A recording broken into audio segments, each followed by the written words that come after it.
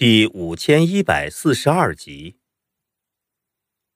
在万虚的主殿里面热闹非凡，宴会已经准备好了。叶晨远远就看到羽皇谷帝坐在首席上面，腰间佩戴着一把剑，那正是他想要的修罗剑。看到修罗剑，叶晨目光里露出一丝灼热，恨不得立即冲上去将修罗剑夺回来。但是叶晨很清楚。在万虚神殿里面跟羽皇谷帝动手，只有死路一条，也只好压下内心的念头。幸好羽皇谷帝正在与第二妖姬谈笑风生，也没发现叶晨的存在。五瑶掩饰的很好。叶邪神压低声音道：“孙儿，剑在羽皇谷帝身上，咱们抢不回来，还是先去天金阁寻找那古籍。”叶晨点点头，眼下夺剑无望，也唯有去天津阁找到那本记载着破虚域坐标的古籍。一旦查到破虚域的所在，找到另外半截无红神剑，就可以让爷爷参悟无无，借用未来身的修为。到时候强行出手压制万虚，夺回修罗剑，都是大有可能的事情。归尘，这次多谢你了，告辞。叶晨拱手向归尘道谢告别，而后便与武瑶和爷爷一起悄无声息地离开。今天是万虚设宴的盛大日子，有许多宾客也在万虚山门里面到处游览山水，所以叶晨三人的走动并没有引起外人的注意。只是天津阁与万虚收藏神功秘籍的地方，那是游客进入的密地。叶晨三人想去天津阁的话，怎么都会引人注目。三人小心翼翼，一路向着天津阁走去。在路上，叶晨隐约捕捉到一股熟悉的气息，那是申屠婉儿母亲申屠天音的气息。显然，申屠天音就被关押在附近，但眼下的叶晨显然难以抽身去解救。申屠前辈，对不起了，以后若有机会，我必定救你出去。叶晨咬咬牙，暗下决心。现在解救申屠天音不太现实，进入天津阁最为重要。三人来到天津阁之外，只见一队队的天军修士在紧锣密鼓地巡逻着，防守非常严密。想硬闯进去的话，除非将这些天军守卫全部杀死，这么做的话必然惊动羽皇谷帝。爷爷，怎么办？叶晨目光看向叶邪神，沉声问道。叶邪神眼睛微眯，却看向五瑶道：“小妮子，如今唯有你出手了。”五瑶有些慌乱道：“爷爷，我，我可以吗？这么多高手，我一个人没法解决啊。”叶邪神道：“不，我不是叫你用武力，而是用慈悲的信念去感化他们。”五瑶呆了一呆，而后目光沉淀下来道。嗯，我明白了。顿了顿，武瑶深吸一口气，便大步走了出去。什么人？那些巡逻的天军守卫们看到武瑶出现，顿时警惕起来。诸位大哥，大家辛苦了。武瑶展颜一笑，那慈悲的眼神带着祥和的气息，如春风化雨般的弥漫出去。全场天军守卫们顿时呆住了。内心所有的警惕戒备消弭一空，只剩下温顺的念头，恨不得要拜倒在五瑶裙下。五瑶接着道：“陛下的宴会已经开始，你们也可以休息了，这里交给我吧。”一众天军守卫听到五瑶的话，隐约间感到不对劲，但内心却被一股莫名的力量笼罩，竟是纷纷收起兵刃，转身离开天津阁，往外走去。很快，所有天军守卫全部离开了，偌大的天津阁顿时处于不设防的状态。叶晨大为吃惊，心想：五瑶妹妹的慈悲力量居然强悍到这个地步，兵不血刃就解决了所有。五瑶的慈悲，从另一个角度来说，其实也是一种心魔的手段，能控制人的心灵。只是心魔是以恶念控制，慈悲则是以善念。人心有善念，只要是善念还没泯灭的，看到五瑶的笑容与目光，都会受到感染，完全皈依慈悲的力量，如同皈依佛门。叶晨在霎时之间，内心闪过许多念头。他知道，无论是心魔还是慈悲，说到底都只是一种工具，是正是邪，那就看使用者的想法了。孙儿，走吧。叶邪神看到五爻成功了，立即冲叶晨招呼一声。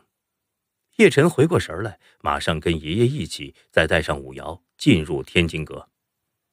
叶晨牵着五瑶的手，却感到他手掌冰冷的出奇，面容也是苍白无血的模样，似乎很虚弱。五瑶妹妹，你怎么了？叶晨连忙问。五瑶勉强露出一个笑容，道：“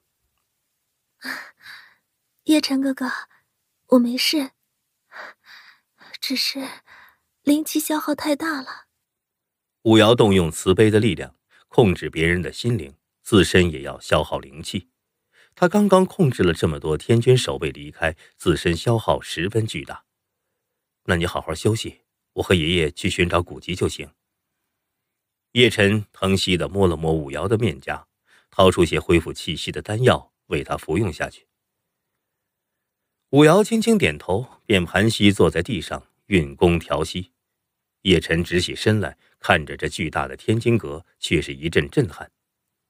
万虚的天津阁非常庞大，一排排书架整齐排列着，上面摆满各式古籍，还有一片片古老的功法玉简。这是万虚收藏神通秘籍的地方，可以说是绝对的禁地。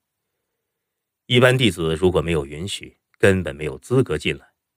今天万虚举行宴会，款待紫皇仙宫使者。这天津阁更是无人，静悄悄的。叶晨和叶邪神相视一眼，道：“爷爷，我们分头找。天津阁太大了，想寻找一本古籍，显然并非易事。”叶邪神点点头，当下便与叶晨分头寻找。叶晨在一排排书架之中快步掠过，精神力一扫而过，就可以确定有没有自己想要的古籍。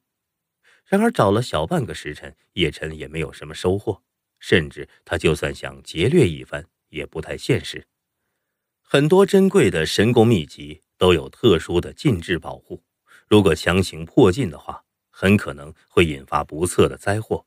在第一层的书架里找了一遍，也没有收获之后，叶辰便是登上第二层。第二层所收藏的神功秘籍更为珍惜。可惜保护禁制也更为强大，破解不易。叶晨在一排排书架之中连番寻觅，始终没有任何的收获。你在找什么？忽然，在这个时候，一道清脆的女声在叶晨的身后响起。叶晨惊出了一身冷汗，回头一看，只见一个清丽少女正凝目望着他。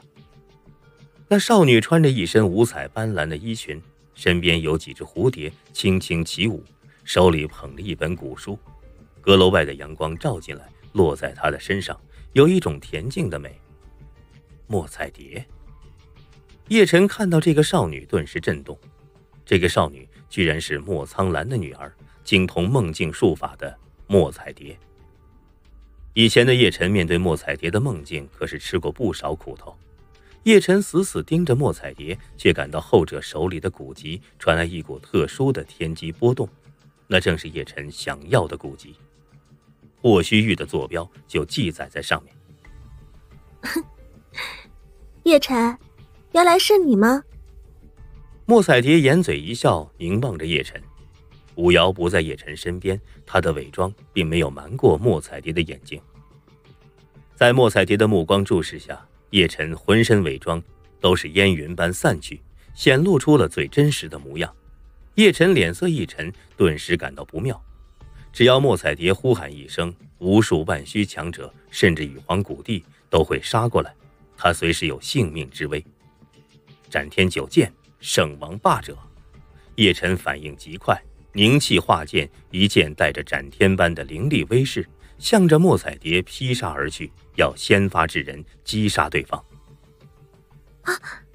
你修为又进步了。莫彩蝶看着叶晨那锋锐的剑势，倒是不敢大意，慌忙往后退去。大梦千秋，梦境万象，降临！紧接着，莫彩蝶丢下手中的古籍，捏了一个法诀，周围涌起烟云般的雾霭，笼罩四周。叶晨精神顿时有种扭曲的感觉，浑身飘飘荡荡，一下子就从现实世界被拖入梦境之中。在现实世界里面，莫彩蝶万万不是他的敌手，但在梦境世界里面，那就难说的很了。又想在梦境里杀我吗？叶晨嘿的一声冷笑。环顾四周，只见这里是一个非常陌生的世界，到处弥漫着鬼气阴森的气息，山石、大地、森林都有一种压抑的气氛。远方的地平线上更是有连片连片的宫阙，隐约有鬼哭的声音传来。这里是鬼王界吗？叶晨环顾四周，顿时捕捉到非常熟悉的气息，此地似乎就是传说中的鬼王界。猜对了，不过这是梦境，你也不用太惊慌。莫彩蝶微笑道：“你想独自面对我，为何不叫人来？”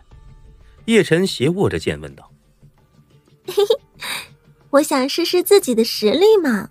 如果我能单独杀死传说中的轮回之主，那将是天大的功德。你的鲜血会成为我复活父亲的养分。”莫彩蝶一笑，露出两颗小虎牙。笑容却是有点残酷。那就让我看看你有没有这个本事。鸿蒙大星空，开！叶晨不再废话，猛然一步踏出，背后炸起璀璨的鸿蒙星空，一点点星光荡漾，浑身气势暴涨。他很清楚，所谓的梦境秘术其实就是幻术，想不被梦境幻觉影响，那就要有自己的领域。他身后的星空就是他的领域。